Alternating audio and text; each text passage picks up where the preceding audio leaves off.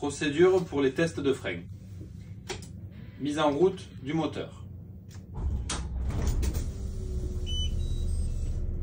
Pas de voyant d'alerte au tableau de bord, si ce n'est celui du frein de porte.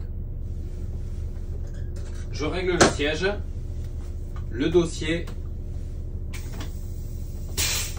le volant et les rétroviseurs. Contrôle d'ouverture et de fermeture des portes. Bonne ouverture.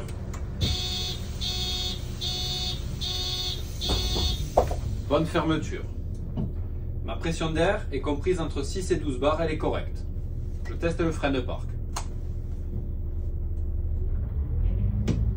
Bonne retenue du frein de parc.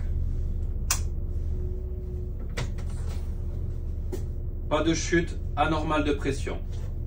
Je vais tester maintenant le frein de service.